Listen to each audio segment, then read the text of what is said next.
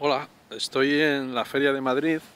He venido aquí al pabellón de IFEMA porque creía que era hoy, pero es mañana, la Feria de la Moto, que está ahí atrás, el Salón de la Moto, que quiero venir mañana.